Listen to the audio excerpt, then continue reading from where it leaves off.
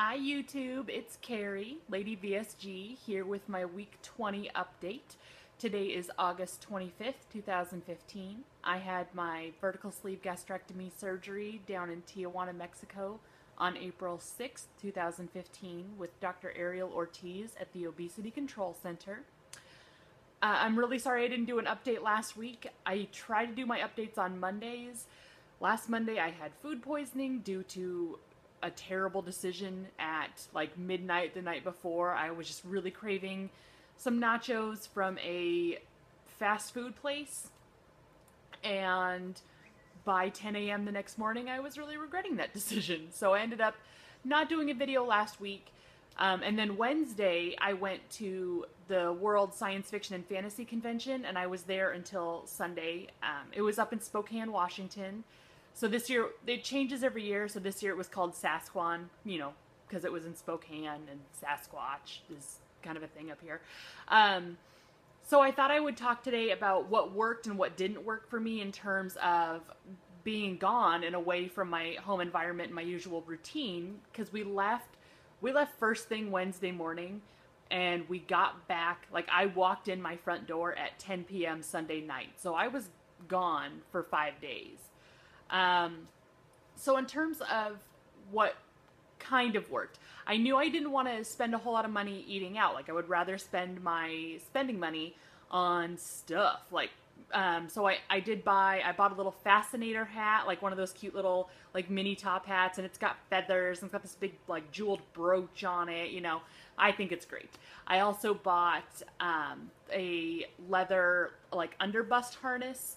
So it's it's the sort of thing that like gunslingers, like a lady gunslinger would wear, and then I bought a matching belt so I could theoretically put like a holster or something on there. Because I think in the future I, I didn't dress up this time but in the future I do want to dress up as basically um, there's a character in this book series the books are by Seanan McGuire she wrote a bunch of short stories um, starring this this character Fran.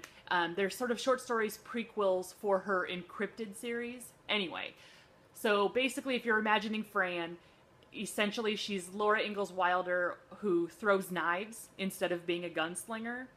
Um, she used to work for the circus and stuff. Anyway, so that's kind of the vibe that I'm going for. So I ended up spending, I wanted to spend my money on that kind of stuff and not on food. So I tried not to eat out a whole lot. I did have my Starbucks gift card so I could go to Starbucks when we did eat out, I did my best to order just really high protein things. So I would order typically off the appetizer menu. I mean, I got a an order of ribs one time. Um, we went out to a restaurant called Perkins, and I just got a side of smoked sausage, which was great.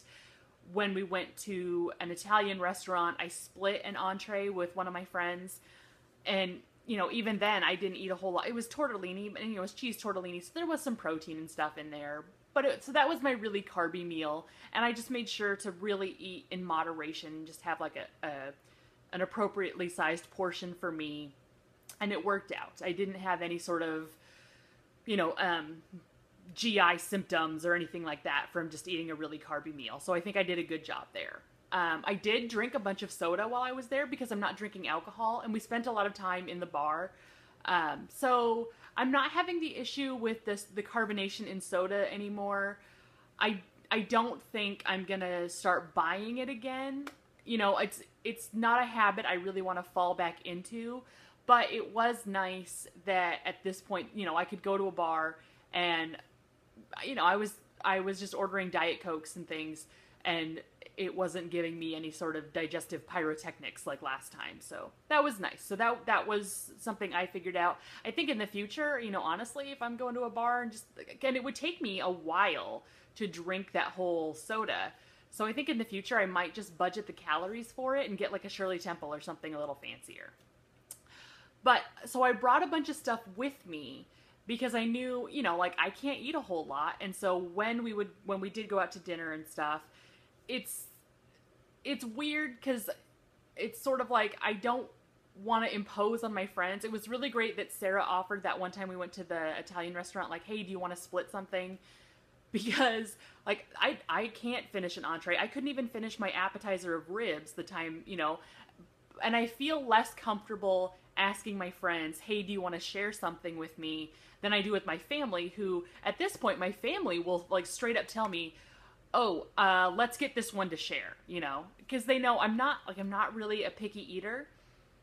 And so, and I think that's part of it. Like, I'm, I, I don't want to say that I'm a, like a cowardly baby, but I don't have any problem being bossed around by my family or you know or my friends or something but it's weird for me to sort of take that more assertive position and say I need to split something is anyone interested so I did bring a bunch of snacky things and then that way I could either just sit at the table with them and be like oh it's okay like I already ate or um, sometimes I just didn't go because I was like I don't feel like it so that that helped but so some of the things that I brought that really worked out for me a since it was a convention and there were going to be like thousands of people there with all of their germs and one time when I went to the Penny Arcade Expo up in Seattle, I'm one of the lucky ones that came home with swine flu. Um, so I always take. Uh, my sister told me about taking probiotics during convention seasons, like well conventions while you're there. Like start taking them a day or two before, and then continue taking them like a couple days afterwards. These are um, knockoff brand Culturelle. I think Culturelle is like the big brand. These are just like some generic store brand ones that I found because they were cheaper. Anyway, so take your probiotics. I also took some Airborne every day. I like this one because um, it's the tablet ones. I've seen the ones that are powder, and this fits easier in my luggage because I'm a chronic overpacker. Um, so what else did I take? So I bought this off of Amazon.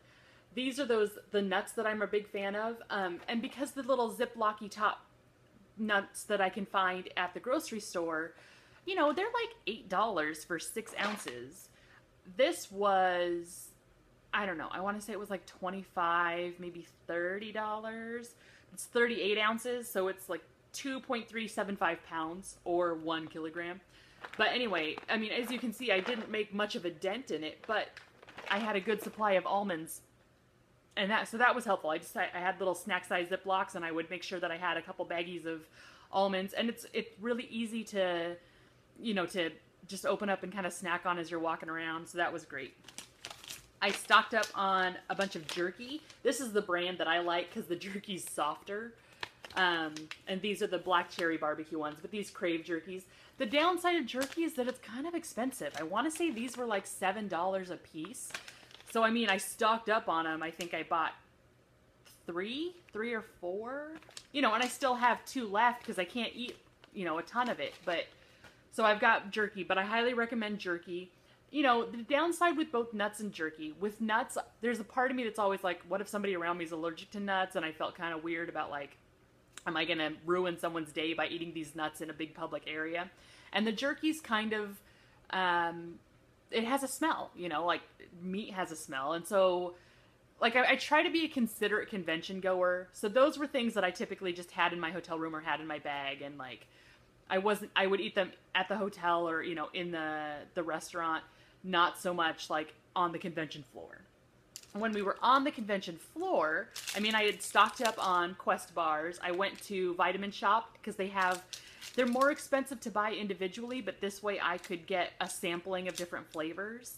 Um, these are the peanut butter supreme. I did really like those. So um, anyway, so I got a bunch of Quest bars and tried the cinnamon roll one, which I thought was delicious. I loved that. So whoever recommended those to me, thank you.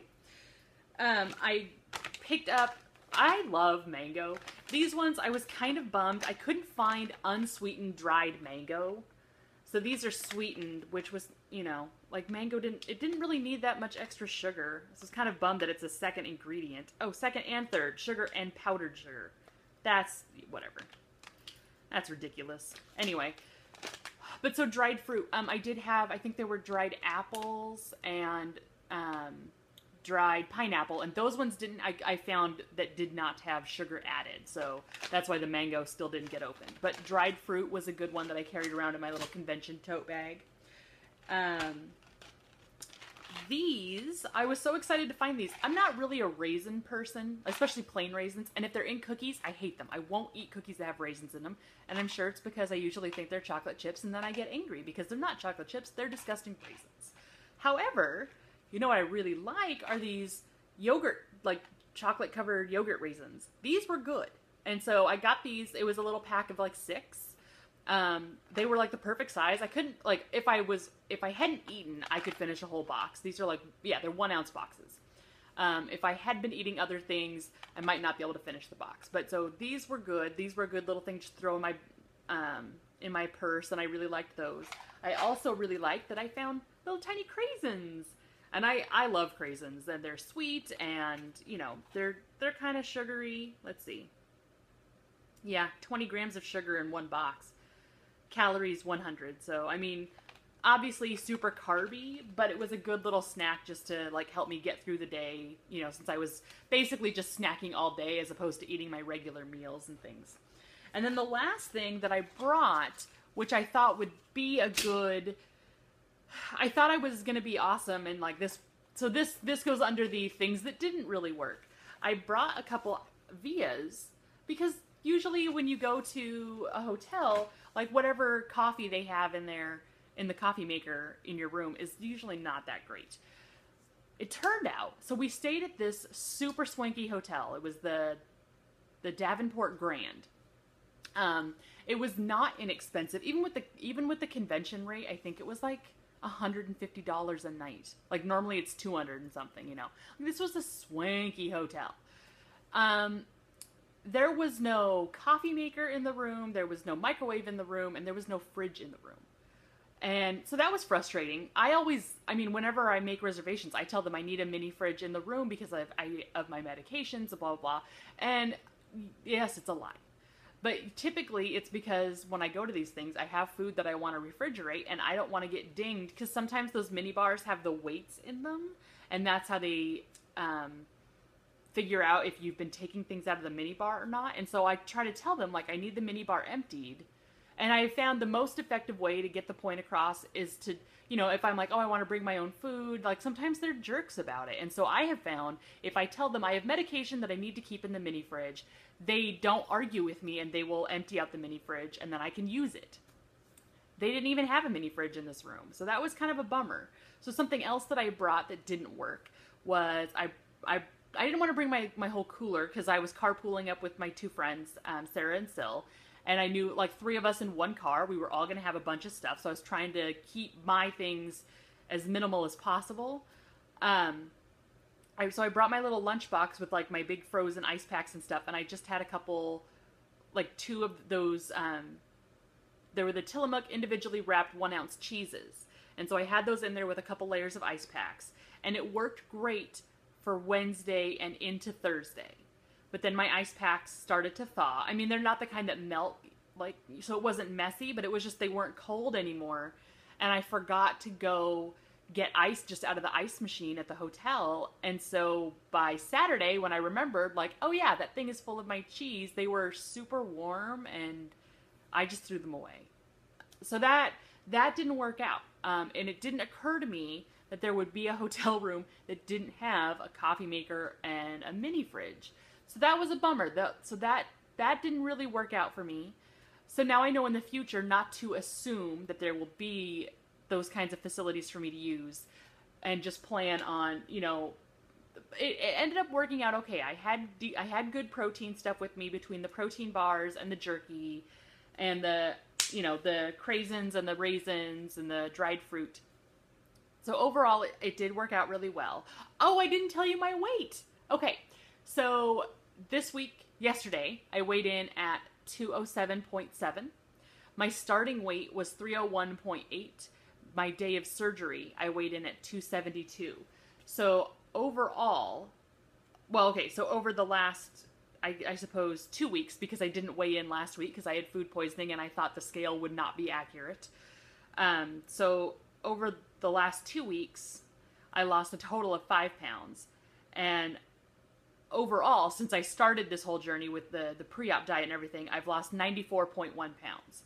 So I'm I'm excited. I don't know how much of that five pound weight loss was between last week and this week, and how much of it was, you know, be you know, and the food poisoning thing really kind of screwed up my weight management project, whatever. Um, my weight tracking. There we go. so but I was excited. I didn't act. I actually, you know, I I prepared. Unlike when I went to my brother's wedding and I ended up gaining a pound, I still lost. So, or at least I maintained, you know, even if I lost all the all 5 pounds the previous week, I didn't gain any while I was at the convention. So, like I, I did a much better job this time planning, preparing, and then actually sticking to my plan. I, I took workout clothes. Once again, I did not work out, but the upside of a big nerd convention like this is I did a ton of walking. So I, I got my steps in most days, or pretty close to. I, I always got around 10,000 steps. My step goal is to 12,000. So some days I didn't hit it, but I was getting a decent amount of walking in. I did really well with my food, so I'm really happy with that. So hopefully this video has helped anybody who's going to be going on any kind of trip, anything like that. Like these are my recommendations. Obviously this is much more geared towards those of you who are already on eating anything, you know, because if you're on soft foods and whatnot, like you're obviously not going to be able to eat almonds and I don't know about the protein bars. I didn't really do protein bars while I was while I was on soft food, so but anyway, hopefully this gave you some ideas. I hope you're all doing well, and I will check in again with you guys next week. Bye.